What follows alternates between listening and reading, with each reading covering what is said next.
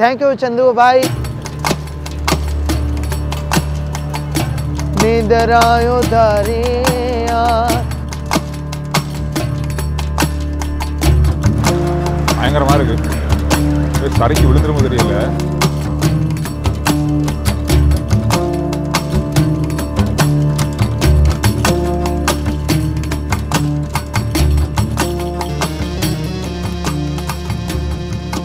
और जनाब मैं आपको सलूट करता हूँ थैंक यू शुक्रिया चंदू भाई वेलकम வணக்கம் எல்லாரும் எப்படி இருக்கீங்க இன்னொரு வீடியோவில் உங்களை சந்திக்கிறேன் இப்போ வந்து நாங்கள் லாகூரில் இருக்கோம் லாகூர் சிட்டி தான் இது லாகூர் சிட்டி தான் இதான் நம்ம ஹோட்டல் ஹோட்டல் கொஞ்சம் வித்தியாசமான ஹோட்டல் பாருங்கள் பின்னுக்கு நிற்கிறவர் வந்து காவலாளி அவருக்கு து துவக்கு துப்பாக்கி இருக்குது இப்படி தான் நிறைய ஹோட்டல்களில் அல்லது நிறைய இடங்கள் இருக்கிற காவலாளிகளுக்கு எல்லாரும் எல்லாருக்குமே துப்பாக்கி அதாவது துப்பாக்கி வச்சுருப்பாங்க இந்த ஹோட்டலுடைய இந்த பாருங்கள் இந்த கம்பியை பாருங்கள் எப்படி இருக்குன்னு அப்படி பெரிய வரியல்.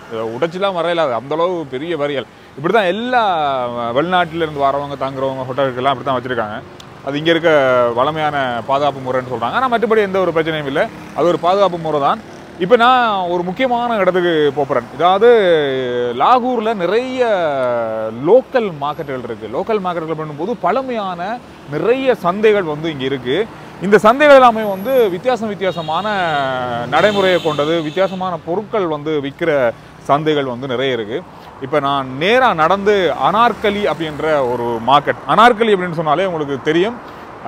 பழமையான ஒரு பேர் பழமையான ஒரு பேர். அந்த பழமை இன்னும் அங்கே இருக்குது ஒரு வரலாற்றோட சம்மந்தப்பட்ட ஒரு பேர் இந்த அனார்கலி அப்படின்ற பேர். அந்த மார்க்கெட்டுக்கு நாங்கள் போகிறோம் லாகூரில் மிக மிக பழமையான மார்க்கெட். நடந்து போகலாம். கிட்டத்தட்ட ரெண்டரை கிலோமீட்டர் தூரம். ரெண்டரை கிலோமீட்டர் தூரத்தில் என்னென்ன விஷயங்கள் இருக்குது அப்படின்னு நாங்கள் பார்த்து கொண்டு போகலாம். அல்லது நாங்கள் வந்து ஊபர் அல்லது டாக்ஸி எடுத்துக்கொண்டும் போகலாம். அதில் எதில் ஈஸியாக இருக்கோ அதில் நடந்து போகலாம். நான் கொஞ்சம் குளிராக இருக்குது இப்போ நேரம் பதினொன்றரை. பத்தரை மணிக்கு பிறகு தான் வந்து எல்லா மார்க்கெட்டும் எல்லா கடைகளும் வந்து இங்கே திறப்பாங்க. அதே மாதிரி இரவு மூடுறதும் வந்து பத்து பதினொரு மணி ஆகும். அந்த மாதிரி தான் இருக்குது இங்கே கொஞ்சம் வித்தியாசமான நடைமுறைகள் இருக்குது இப்படியே நடந்து பா போவோம். நடந்து எவ்வளோ தூரம் போக முடியும் போயிட்டு அது பிறகு கஷ்டமாக இருந்தால் டாக்ஸியில் போகலாம். இந்த மரங்கள் எல்லாமே வந்து என்னதான் மரங்கள் இப்படி இருந்தாலும் தூசி வந்து அதிகமாகவே இங்கே இருக்குது நான் வந்து காஷ்மீர் போன டைம்லேயும் வந்து இந்த விஷயத்தை அவதானிச்சேன். இங்கேயும் வந்து நிறைய இடங்களில் தூசி பாருங்கள் நம்ம ஏரியாவில் தான் மரங்களில் இந்த மாதிரி தூசி படியாது. ஆனால் இங்கே அப்படி தான் தூசி படிஞ்சிருக்கு. அந்தளவு டஸ்ட் இருக்குமா இருக்கும் இங்கே? இதெல்லாம் வந்து பழைய கட்டிடங்கள். இன்னும் வந்து பாவிக்கிறாங்க. இப்போ போய் பயமாக இருக்குது நிறைய வயர் கரண்ட் வயர்லாம் நிறைய போகுது.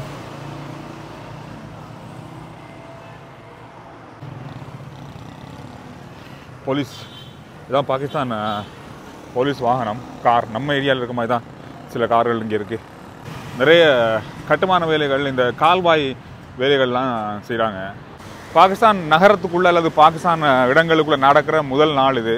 அந்த அனுபவம் தான் இந்த வீடியோவில் உங்களுக்காக வரப்போகுது. அதோட அந்த மார்க்கெட்டை நாங்கள் பார்க்க போகிறோம் சின்ன சின்னவங்க தான் வேலை செய்கிறாங்க நிறைய பேர்.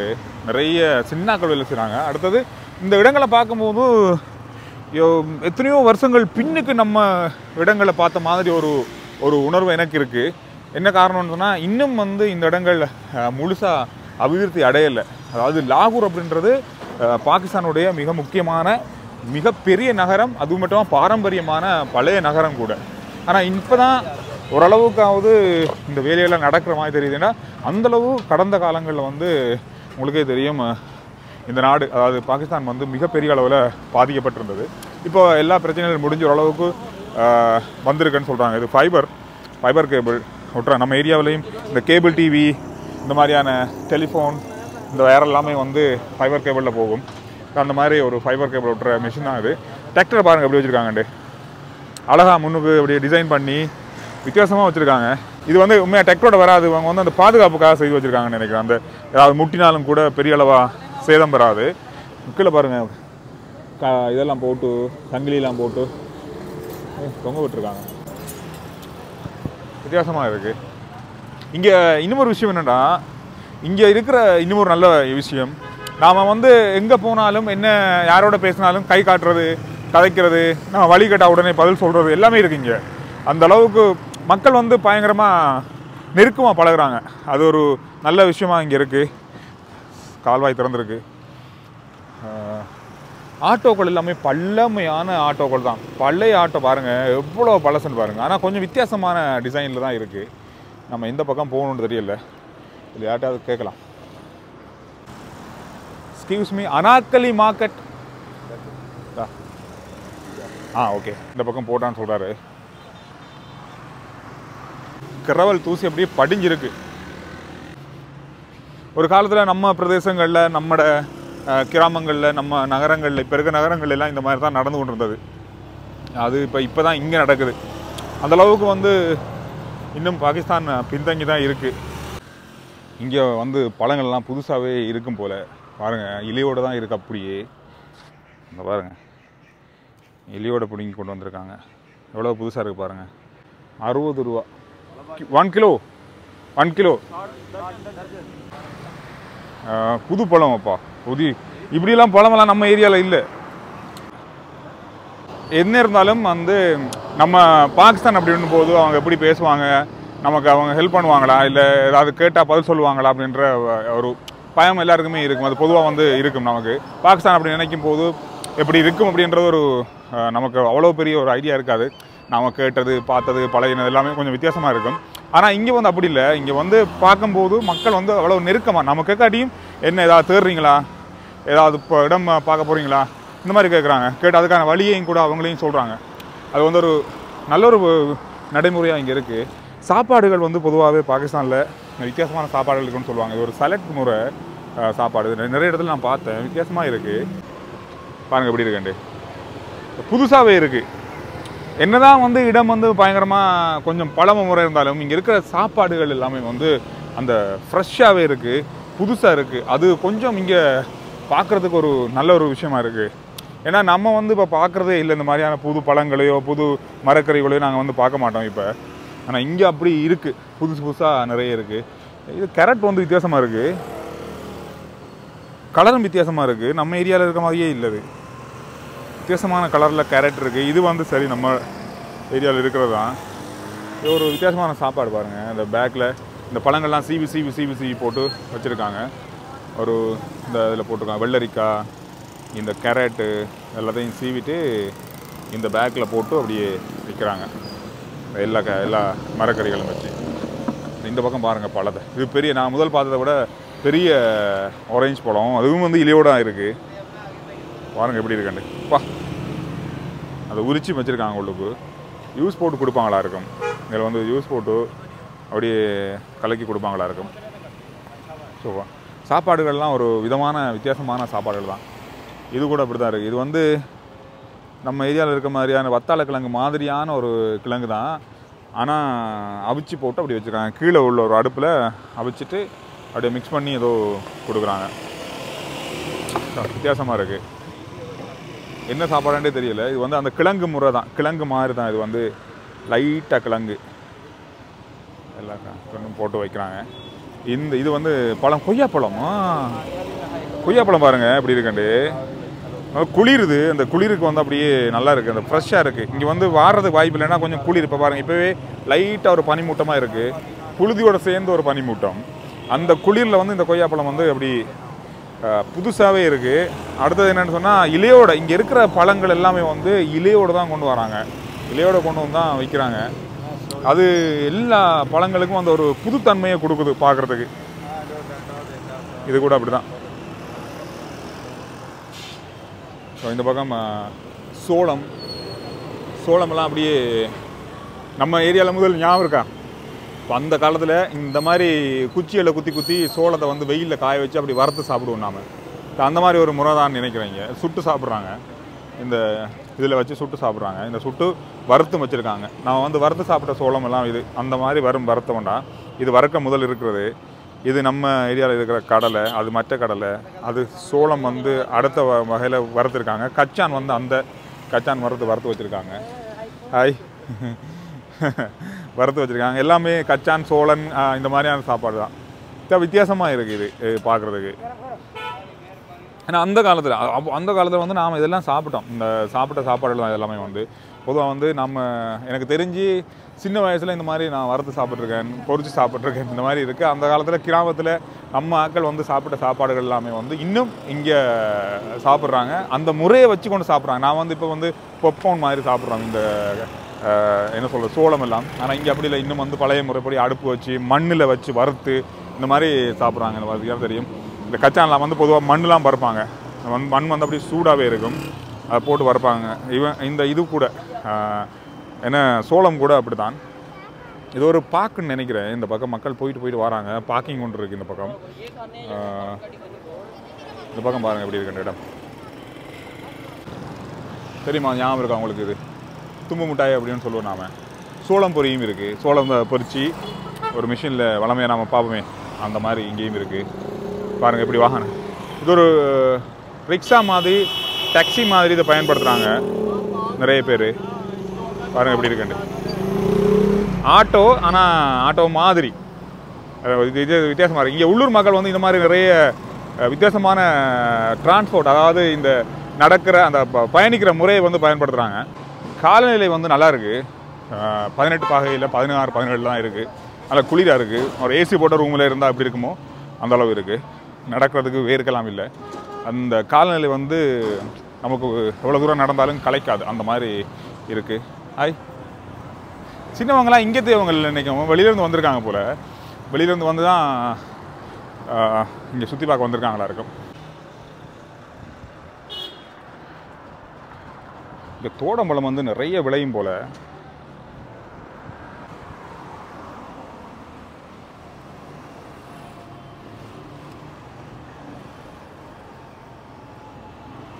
பாகிஸ்தான் வந்து இன்னும் எவ்வளவோ காலம் நமக்கு அதாவது குற குறைஞ்சது. இலங்கைக்கு இலங்கையை பார்த்தா கூட நிறைய காலம் பின்னுக்கு தான் இருக்காங்க. நான் இந்த ஏரியா தான் அப்படி இருக்கா? இல்லை எல்லா இடமும் அப்படியே இருக்கான்னு தெரியாது. முதல் நாள் நான் பார்க்குற விஷயங்கள் எல்லாமே அப்படி தான் இருக்குது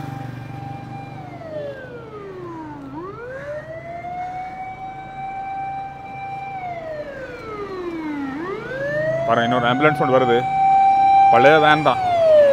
எனக்கு ஏசி கூட இருக்காதுன்னு நினைக்கிறேன். ஏசி கூட இல்லை. நார்மல் வேன் தான். ஆம்புலன்ஸுக்கு பயன்படுத்துகிறாங்க இதில் பார்த்தீங்கன்னா தெரியும் பாகிஸ்தானில் பாவிக்கிற பைக்கு எல்லாமே ஒரே மாதிரி பைக்கள் தான் பாருங்கள் எல்லாமே கொண்டா பைக்கள் தான் இருக்குது எல்லாமே கொண்டா தான். பார்த்தீங்கன்னா தெரியும்? அப்படியே எல்லாமே. ரோட்டில் போகிற வாகனங்கள் அதிகமாக கொண்டா தான் இருக்குது ஜப்பான்கிட்ட தான். இந்த பைக்குகள் அதிகமாக வந்து கொண்டா யமஹா இது ரெண்டும் தான் இருக்குது அதிகமாக கொண்டா தான் இருக்குது பாருங்கள் அங்கே வரைக்கும். ஒரே கலர் ஒரே மாதிரியே இருக்குது இங்கே வந்து இந்தியாவிலிருந்து இறக்குமதி இல்லை. அதனால் ஜப்பான்லேருந்து தான் அதிகமான வாகனங்கள் பைக்குகள் எல்லாம் இறக்குமதி செய்கிறாங்க போல். அதனால் எல்லா வாகனங்களுமே ஜப்பான் வாகனமாகவும் பைக்கள் எல்லாமே கொண்டா பைக்களாகவும் இருக்குது அதே மாதிரி. ஓ அவ்வளவுமே ப- அதே மாதிரி பைக் தான். இந்த தொப்பி க்ளவுஸ் இது என்னென்னு தெரியல. சின்ன சின்ன குச்சி குச்சியாக நிறைய இடங்களில் வச்சுருக்காங்க. இது என்னடே தெரியல பார்க்குறது வாசத்துக்கு எதுவும் கொளுத்துவாங்களா இருக்கும். அப்புறம் வித்தியாசமாக இருக்குது ஏரியா. நல்ல வாசமாக இருக்குது சாம்பிராணி வாசம் கம கமகமண்டு வருது இந்த பிரதேசத்தில். என்ன சொல்கிறது ஒரு பக்திமயமாக இருக்குது கடைகள் எல்லாமே பார்க்க. பாதைகள்லாம் கொஞ்சம் மோசமாக தான் இருக்குது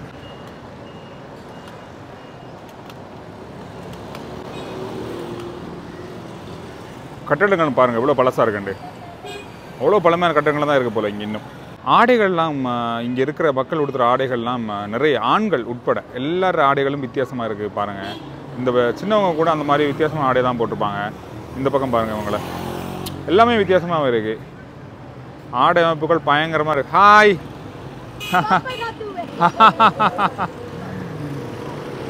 நான் வந்து இந்த பக்கமாக தான் போகணும். இந்த பக்கம் பாருங்கள் சின்ன சின்ன ஹோட்டல்ஸ் நிறைய வித்தியாசம் வித்தியாசமான சாப்பாடுகள் வச்சுருக்காங்க.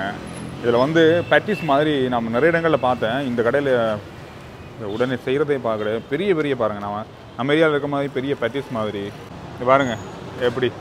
சுட சுட பிரியாணி இருக்குது அப்படியே திறந்து காட்டுறாங்க.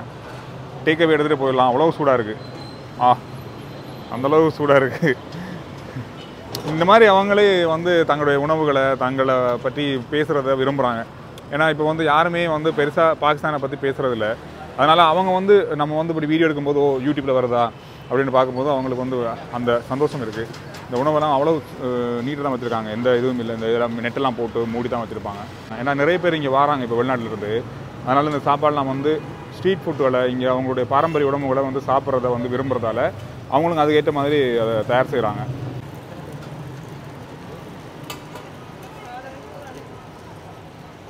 உருளைக்கிழங்காம் இது உருளைக்கிழங்கை தான் வந்து அப்படியே அது போலை மாதிரி போல் மாதிரி செய்து அப்படியே எண்ணெயில் பொரிக்கிறாங்க.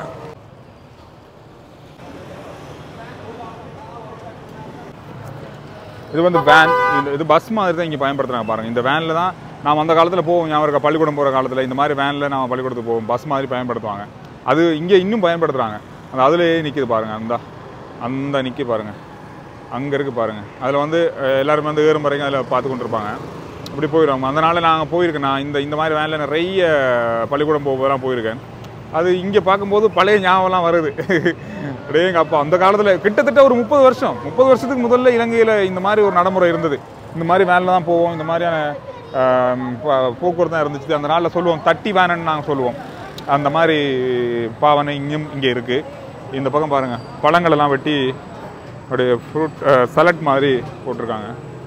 பப்பாளி பழம் ஆப்பிள் அதோட மாதுளம் பழம் எல்லாம் போட்டு கொஞ்சம் பால் மிக்ஸ் பண்ணுறாங்க அதோட போட்டு சாப்பிட்றாங்க. இந்த காலையில் இந்த மாதிரியான உணவுகள் வந்து அதிகமாக இங்கே வித்தியாசமான சாப்பாடு முறை இருக்குது இது மிக்சர் மாதிரி. இங்கே பாருங்கள் எப்படி இருக்குண்டு சாப்பாடு எல்லாம் ஒரு வித்தியாசம் தான் நிறைய வித்தியாசமான சாப்பாடுகள் பார்க்க கிடைக்குது இங்கே. அதாவது நம்ம ஏரியாவுக்குள்ளே இருக்கிற மாதிரி இல்லை. இங்கே வந்து நிறைய நிறைய வித்தியாசமான சாப்பாடுகள்.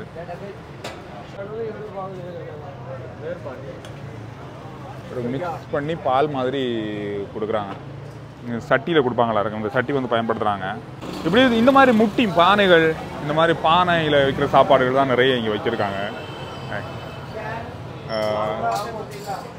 இது என்னன்னு தெரியல. குழம்பு. கறி.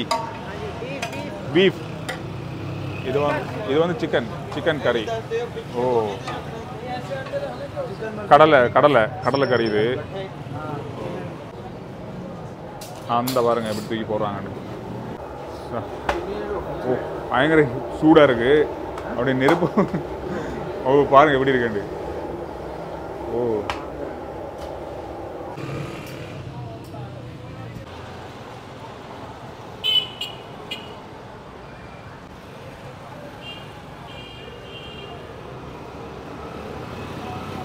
இந்த காய்கறியெல்லாம் வெட்டிட்டு பழம் பண்ணுறத விட காய்கறியெல்லாம் வெட்டிட்டு அதில் போட்டு கழுவிட்டு இந்த மாதிரி சம்பல் இந்த மாதிரியான என்ன சொல்கிறது சாம்பார் மாதிரி செய்து வச்சுருக்கான் பாருங்கள் இங்கே பாருங்கள் எப்படி இருக்குண்டு ஓ.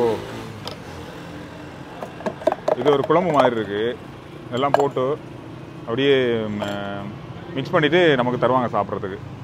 எப்படி இருக்கும் என்ன பேர் எதுவுமே தெரியாது. ஆனால் நிறைய இடங்களில் இருக்குது இந்த பக்கம் பார்த்தீங்கன்னா இங்கே இருக்கிற சாப்பாடு கடைகளில் இந்த உணவு வந்து அதிகமாக இருக்குது காலையில் அதிகமாக சாப்பிடுவாங்களா இருக்கும். ஆனால் நிறைய பேர் வாங்கி வாங்கி சாப்பிட்றாங்க. எப்படி இருக்குமென்னு தெரியல. அந்த இடத்துல காய்கறிகள் வெட்டி தனியாக பக்கெட்டில் போட்டு கொடுத்தாங்க. இங்கே வந்து என்ன சொல்கிறது அதை மிக்ஸ் பண்ணி சாம்பார் மாதிரி குழம்பு மாதிரி போட்டு கொடுக்குறாங்க. நான்? நானோ? ஓ கொஞ்சம் வித்தியாசம். டிசைன் டிசைனாக இருக்குது வித்தியாசமாக இருக்குது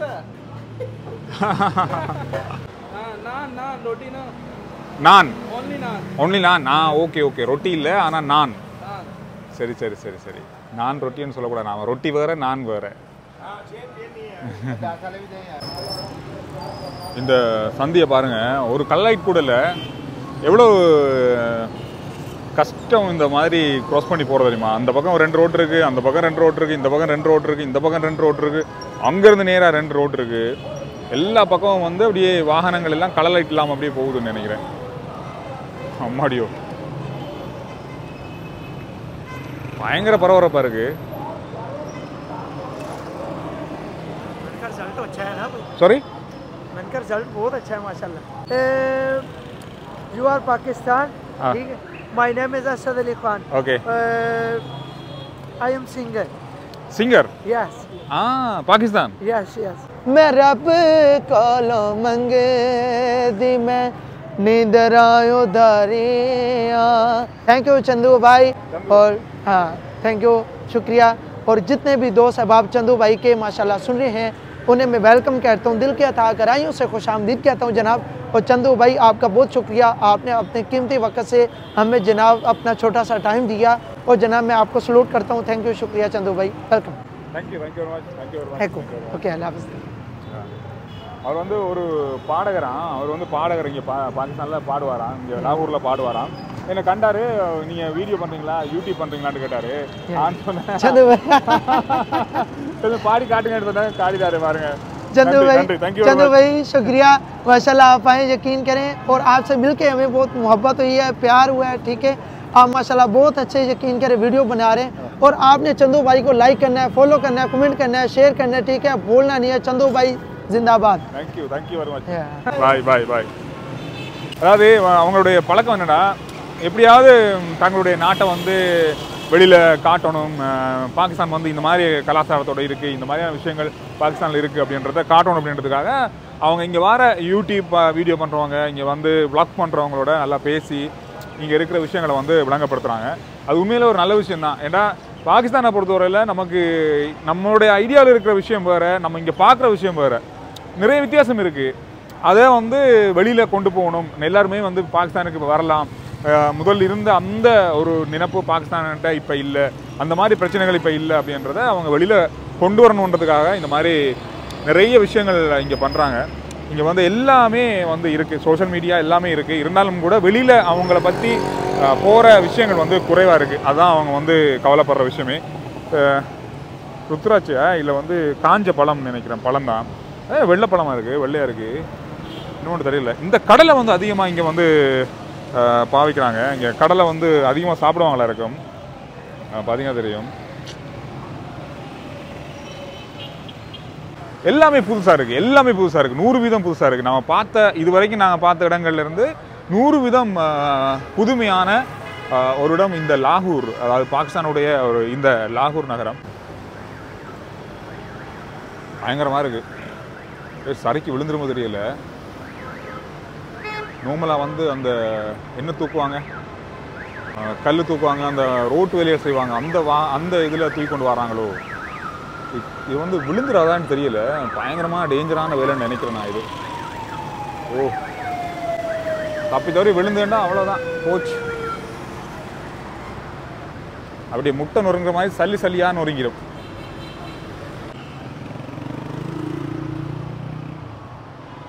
கொஞ்சம் தூரமாக இருக்குது அனாக்காளி மார்க்கெட் கிட்டத்தட்ட நான் இன்றைக்கி இந்த ரோட்டில் அந்த ரோட்டில் போகணும்னு நினைக்கிறேன். அப்படி நேராக நாங்கள் ஆட்டோவில் போயிடுவோம். ஆட்டோவுக்கு நூறுரூவா கேட்குறாங்க ஒன் கிலோமீட்டர் தான் இருக்குது நம்ம ஏரியாலையும் அதே மாதிரி தான் ஒரு கிலோமீட்டருக்கு நூறுரூவா தான். ஆட்டோ பாருங்க எப்படி இருக்குண்டு கதவு. வித்தியாசமாக இருக்குது ஓ. இந்த பக்கம் ஹை கோர்ட் இருக்குது லாகூர் ஹை கோர்ட் இந்த பக்கம் இருக்குது இந்த இந்த- போர்ட் போட்டிருக்காங்க. ஆ இந்த பக்கம் இந்த பக்கம். இந்த இந்த தெரு தான் லாகூர் ஹைகோர்ட் தான் இந்த தெரு. ஆ இந்த தெரியுது பாருங்க. ஆட்டோ வந்து இப்படி தான் வச்சிருப்பாங்களா இருக்கும். மூடி தான் வச்சிருப்பாங்க. நிறைய ஆட்டோ வந்து அப்படி தான் இருக்கு இந்த பக்கமும் திறக்கலாம் கதவு. இந்த பக்கமும் கதவு இருக்கலாம். பாருங்க கதவு எப்படி இருக்குன்னு பாருங்க. இந்த ஸ்ப்ரிங் எல்லாம் வச்சு இப்படி தான் வருமானு தெரியல. இல்லை இவங்க இதுக்கு ஏறமா செய்து வச்சிருக்காங்களான்னு தெரியல. ரெண்டு பேர் இருக்கலாம். சீட்டு வந்து நம்ம ஏரியா மாதிரி இல்லை. சின்ன சீட் தான். கால் வைக்கிறது கொஞ்சம் கூட ஓகே தான். கொஞ்சம் நீளமாக தான் இருக்குது ஓ